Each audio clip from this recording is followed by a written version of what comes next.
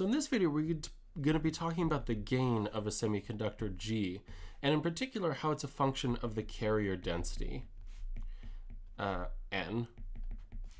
And uh, why do we want to do this? Well, we've developed so far uh, an understanding for the absorption spectra of a semiconductor. So now we can actually write out what it looks like, and that's super cool. Uh, so we know that it's going to be zero below the, the band gap, so our semiconductor isn't going to interact with any photons. And then above the band gap, uh, let's initially assume that uh, this is at zero Kelvin, so we don't have to worry about any broadening.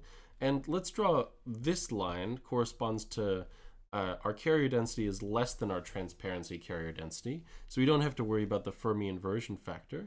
We know that the absorption will sort of follow this square root dependence of the photon energy uh, minus our band gap. And there's also a 1 over photon energy in there, but I'm going to ignore that for now, uh, just to focus on the functional dependence very close to the band gap. But now we know if we increase the carrier density beyond the transparency carrier density, or in other words, we're increasing the Fermi level splitting beyond the band gap, then we can actually get a curve that looks like this, where for a certain region, uh, so this energy here is delta EF, where in this region we've actually got negative absorption, or we've got, we call this gain. And then beyond the Fermi level splitting, at T is equal to zero Kelvin, uh, we just get regular old absorption again. And we can redraw this curve uh, instead of being in terms of the absorption, we can draw this gain as a function of photon energy, and that's just the negative of the absorption curve. So uh, let's we'll still draw these asymptotes, so these envelopes as we as we call them. Uh, but instead, our, our spectra for uh, carrier density greater than the transparency carrier density, our spectra looks like this. So it's just been inverted. Uh, we we've just changed our axis so that the gain is just negative of the absorption. Because uh, generally in dealing with lasers, we prefer to deal with the gain because it's a positive quantity uh, when our laser is operating properly. And actually, let me be totally explicit. Let's not draw the, the envelope over here. Um, so this corresponds now, this line is uh, our carrier density is less than the transparency carrier density. And this is, it's greater than the transpar transparency carrier density. We don't know how much, uh, but we know it's got a certain Fermi level splitting delta EF, and that corresponds to a certain carrier density N.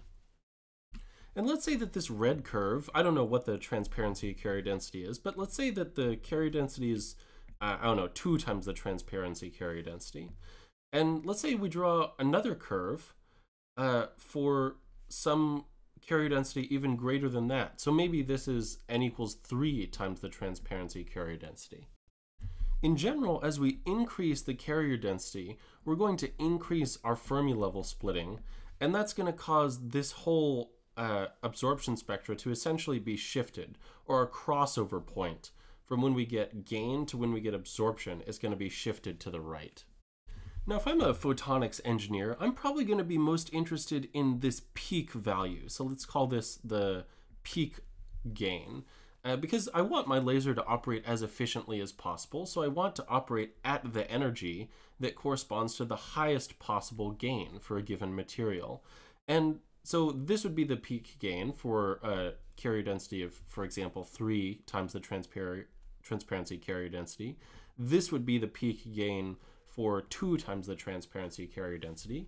And you can plot this peak gain as a function of the carrier density. And it turns out you'll get something like this. So we've got carrier density on the x-axis and we've got our peak gain on the y-axis. And uh, these two curves just correspond to individual points on this curve. So we've got one peak gain here and one peak gain here, for example, for two and three times the transparency carrier density. Uh, and if our carrier density was equal to the transparency carrier density, our peak gain is just zero uh, because we never get gain. For any carrier density lower than the transparency, we will never get gain. So we can plot one point on this graph. Uh, we know that at the transparency carrier density, our peak gain is going to be zero. And you can actually plot this. Uh, it would be kind of hard because you'd probably need to do it numerically. Uh, because we saw in previous videos, in order to just determine the transparency carrier density, you need to do some fairly complex numerical uh, numerical stuff. So to determine what the gain is at something that's not the transparency carrier density uh, is exceptionally difficult. But if you plot it, it'll look something like this. So it's sort of this gentle sloping line. And some clever scientists a few years ago discovered that, well, uh, I mean, this isn't this isn't a great way of doing things, but we can approximate this curve, uh, this peak gain as a function of the carrier density n, as a logarithm. So n divided by our transparency carrier density. So when n is equal to ntr, uh, this curve is going to be equal to zero. That corresponds to this point here. Uh, but when n is greater than ntr, our transparency carrier density, this is going to be positive. And so this g naught here is some fitting parameter. Uh, and generally you measure it or you'll be given it uh, or you'll know it for a particular semiconductor. But this turns out to be a pretty good approximation, uh, at least for the, the typical ranges of carrier density that lasers operate with. Now there's a couple subtleties here that you should be aware of. So this isn't just the gain at a specific wavelength. Uh, this is actually the gain that corresponds to several different wavelengths. So each uh, each point on this curve corresponds to a slightly different wavelength because as we're changing uh, n, we're changing the peak wavelength at which this curve has its maximum. Now, the reason that this is so useful, so the reason that having this expression is so great, uh, is because we're going to be dealing a, a lot with uh, dynamics of lasers coming up. And we're going to need an expression for the gain as a function of carrier density, even if it's crappy. Uh, so even if we don't like it, even if it's not perfect, um, this is going to be super useful in relating the carrier density to the number of photons we have in the cavity. And these will allow us to determine uh, our laser frequency response, for example. So how, how quickly our laser can operate. This also tells us for a given carrier density, uh, this constrains the mirrors that you can use.